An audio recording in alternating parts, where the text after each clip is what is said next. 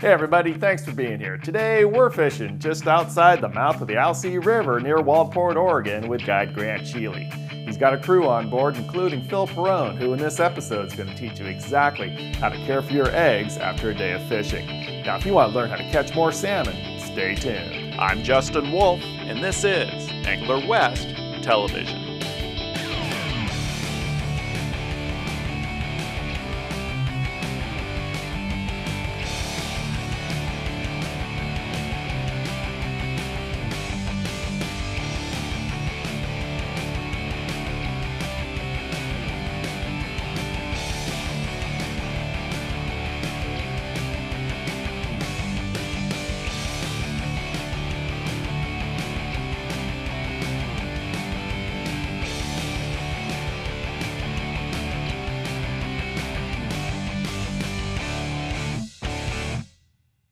It's a beautiful Oregon morning, and we've launched out of Waldport, a perfect place to intercept early fall Chinook. So we're heading out at Alsea Bar.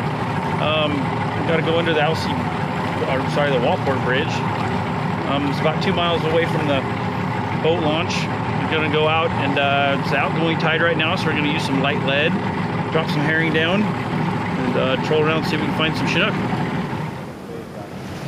The tide has just turned. Starting to go out, and the last week the outgoing tide has just been miserable with weeds, but they'll come a day but the weeds disappear and no one will be here. There's a few boats here, and the fishing will go off.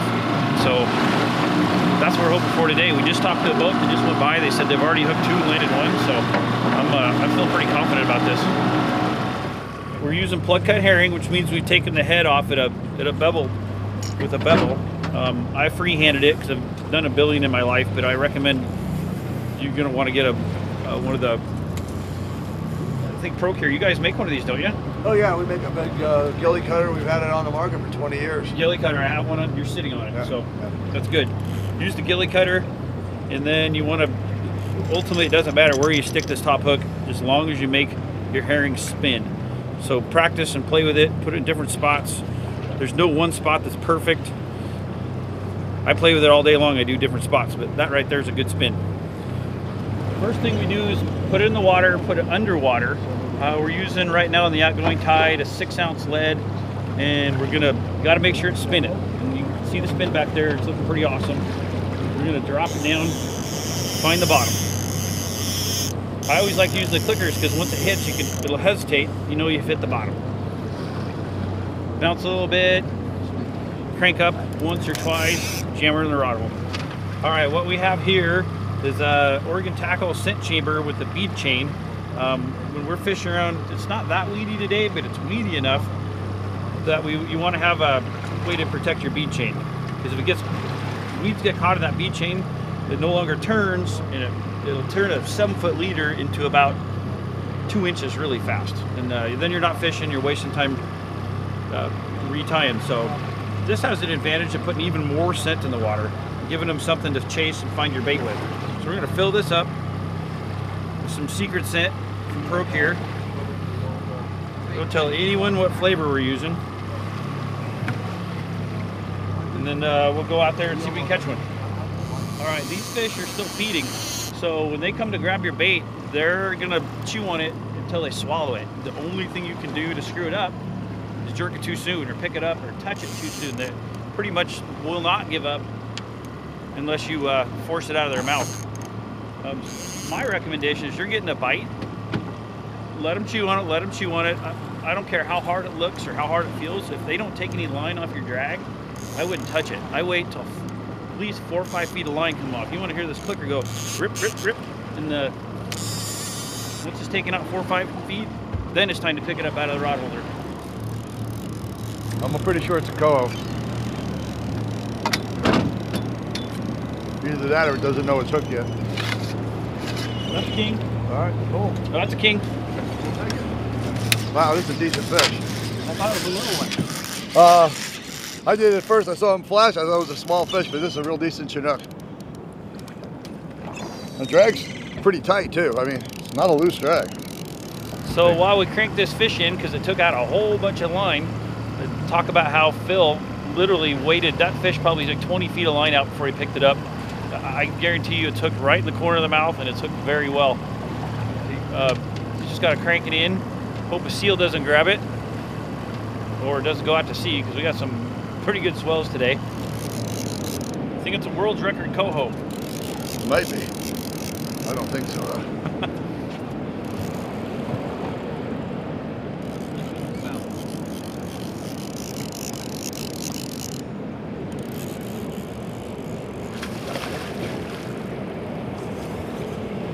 They don't give up either. It's not a giant fish, it's just a butt kicker. They lift and we'll net. Drop. Good job. Nice job, Phil. Nice fatty head. Let's give it a little bonk first. Before we stick our hands in the net.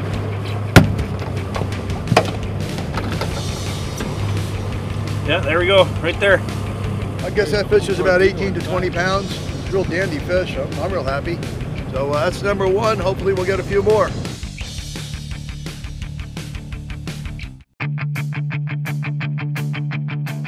Welcome back to the mouth of the Alsea River at Waldport, Oregon. I'm Justin Wolf. We're fishing with guide Grant Scheele, and Phil Pirone of Pro-Cure has the first fish of the day on board. An outstanding hen chinook that will not only be great on the table, but also provide eggs to use as bait. That's a dandy fish. Uh, it's a hen, so uh, we're going to do some egg curing in a little bit, show you a couple of secrets for uh, how simple it is to put Pro-Cure on these uh, eggs and uh, have great eggs to bobber fish or steelhead fish, whatever you want to do later in the year. Now here's Phil Pirone showing you how to properly take care of your eggs at the end of the day. You know, you want to start off doing your eggs right, and one of the things we did, we just took these eggs out of our fish. And if we were going to head home, one of the biggest mistakes guys do is they'll put their eggs in a plastic bag and sit them on ice with their fish. And by the time they get home, the ice have jellied out, they get dark brown, and they get jellied because the water in the egg freezes from the ice. So what you have to do, and you don't want that. So if you have to put them in a bag, you want to cure them before you do it. But the best way to do it is either bring a Tupperware container for your eggs along with you, like I did, or if you have to put them in a plastic bag, go to the garbage and get a beer container, beer, a beer six-pack carton, a, a, some kind of plastic or newspaper, and put the newspaper between the ice and then your bag of eggs on top of it, so that the eggs are not directly on your ice. Because if you put your eggs directly on the ice, it will slowly freeze them and you'll ruin your eggs. So you want to start out with good eggs. And then once we have good eggs, what I like to do is uh, put some cure on my eggs right away. It's just just initial stage. It's not the drying process, but you want to get some cure on them right away. So what I'll normally do is I'll start to cut them up, or at least split them.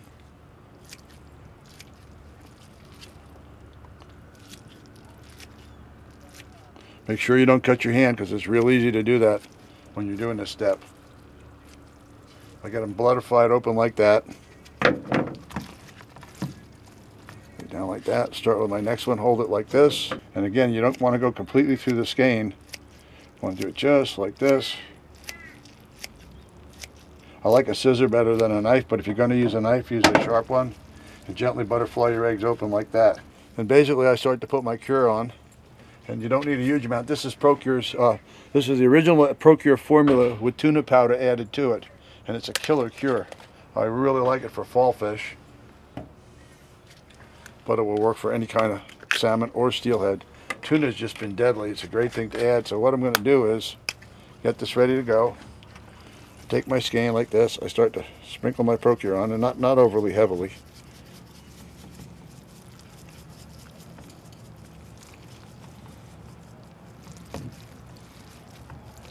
Try to get some cure between the folds, like this a little bit of a breeze blowing here, so makes it a little bit more difficult. But again, I got a pretty good coverage. Flip them over, get the other side. That. Let them sit like that for a minute. Start to juice up. I might want to add a little bit more Pro-Cure when I get home, but right now this is just to transport them, take good care of them. You see they're turning a real nice red color already. Just want to make sure any spots I missed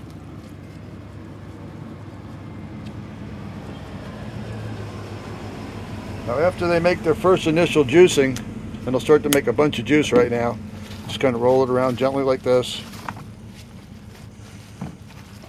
Make sure it gets into them really well, into all the folds, and they'll start to make their own juice.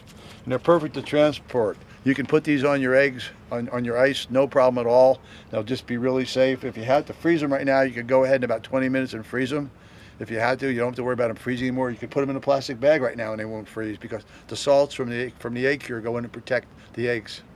So anyway, so that's what I do. And normally when I get home, I'll cut them into more usable skein-sized pieces, fish-sized pieces, and I'll squirt my bloody tuna oil on them. Basically, let the cure work, but I'll take my tuna oil,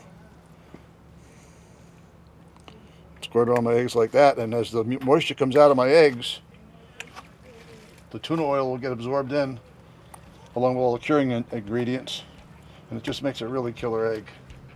Just roll it around like that. And that oil will now get infused into the egg, each, each into each individual egg, and it's really, really uh, an effective way to scent your eggs. And then they're ready to be put up. I go home, I'll cut them into uh, skein-sized pieces, lay them out on my tray, let them drain, and uh, they'll be ready to go in uh, two or three days.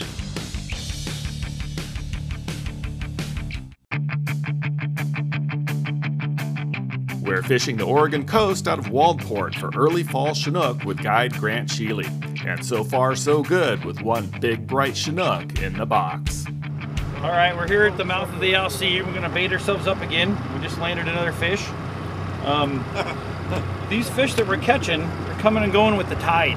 They're uh, they're Cal- actually California-bound fish. A lot of these fish are going to the Sacramento and uh, the American rivers, and I think the Klamath too is what they tell us. And uh, they come and go with the tides, and and uh, they're still feeding. They're very aggressive, and uh, they definitely like our Pro-Cure scents today. We just caught another one on a chamber. I'm gonna fill it again.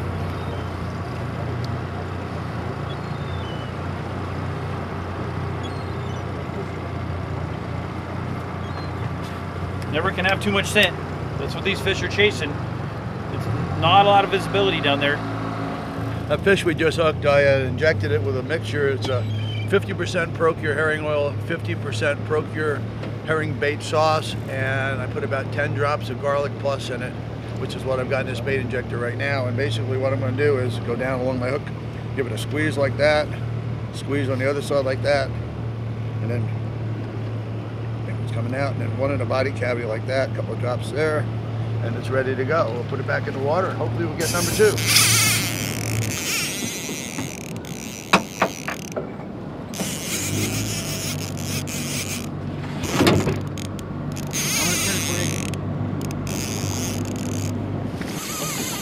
Well, he was on certain. Guys, I gotta get turned around. We're, uh, we're out to sea right now. So I'm gonna turn around. Oh yeah, look at that. Bring that rod up and over my head.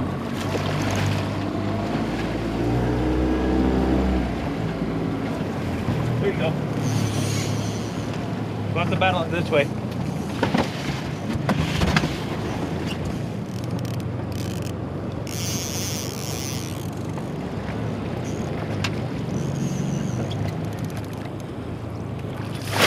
Drop. Good job. Nice. Look at that. Good. Rerun.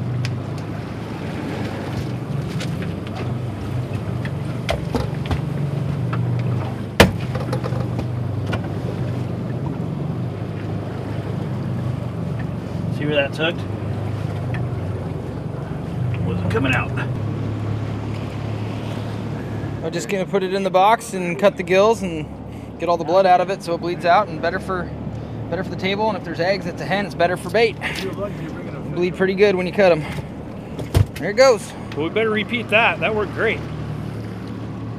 this leader got all twisted up because it got grass on it so we're gonna instead of trying to just work with it we're just gonna replace it entirely and put a new one on a fresh one.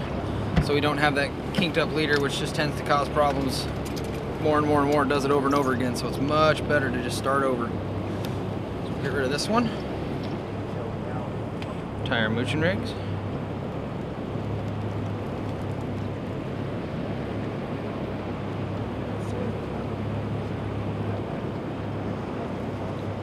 like to spit on them so it doesn't burn the line. Create a little bit of heat when you pull it through. So if you can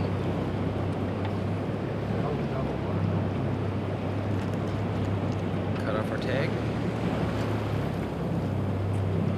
Get our other hook, do the same thing, just up a couple inches. About right there, seems to be for about green label herring, that seems to be about the right distance.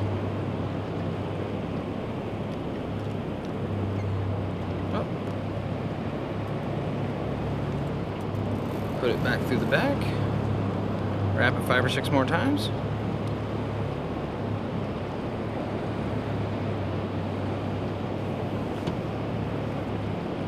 Pull it tight. And now you got a new mooching rig that's not going to be all kinked up and messed up like the last one. It's not going to cause as many problems in the future. And tie it back on, you're good to go. It's going. It's peeling. Taking line? Yeah. It's your turn. Take it. All right, got him.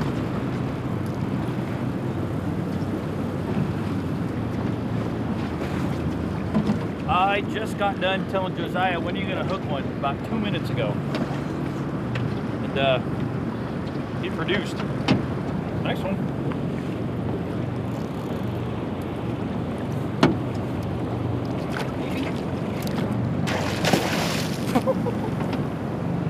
Shot water in my mouth. No, it doesn't get any better than that. Grant, can you turn right just a tiny bit? Ah, we're good. Never mind. The, the second hook is flailing about. I got to make this do this right the first time. All right. Oh, that's a nice fish. All that hard work just disappeared. Took all that line. Drag it back up here. Like you said before, though, this is never not fun. Do we need to call your little sister to help? Oh, It just fell off. We fishing again? We should have called the little sister. guess so.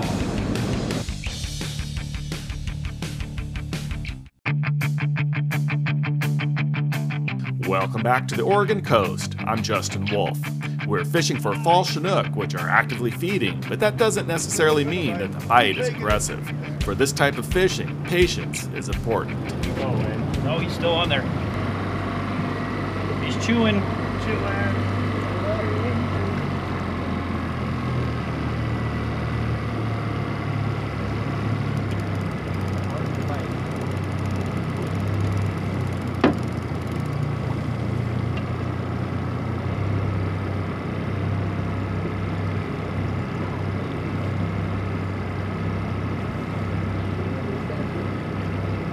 Sometimes they chew for a long time.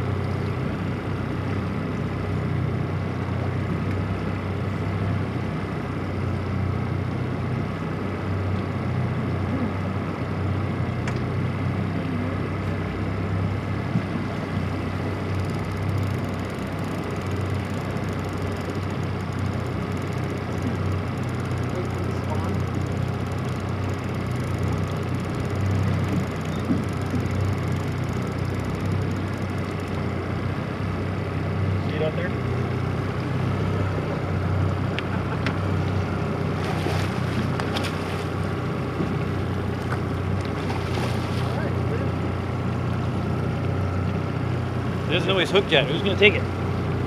That's kind of anticlimactic. I know.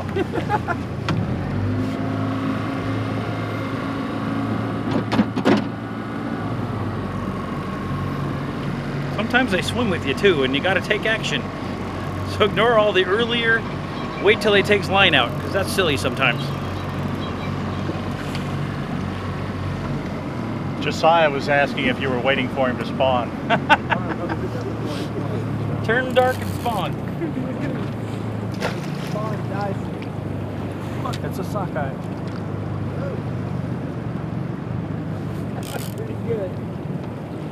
Oh!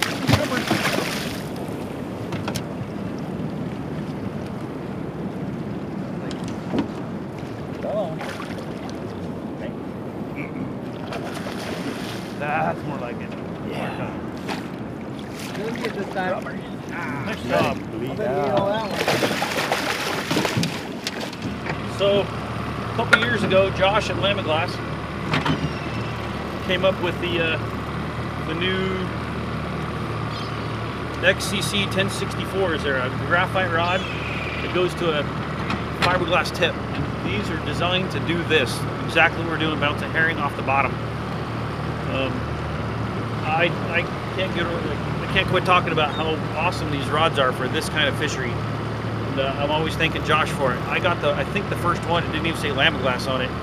And I told him I think he had a winner, and he's resigned or uh, refined it since then. And it's a, it's an awesome, awesome rod. Good.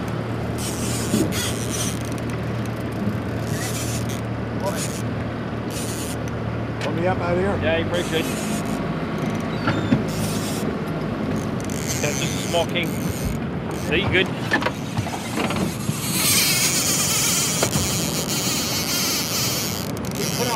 It's going back to the sea.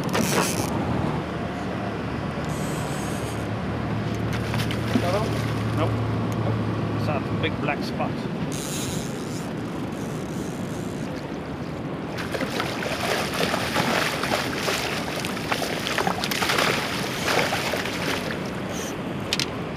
Good job. Nice. Way to go, Green. Ooh, hook fell out. Good net. Bump of confidence.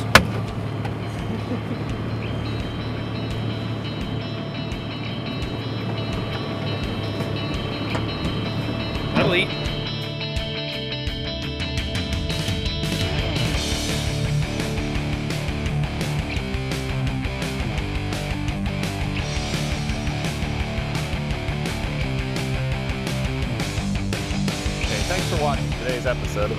TV. You know, it's only with the sponsor support that the show is made possible, so please thank them when you can. Now get out there and do some great fishing.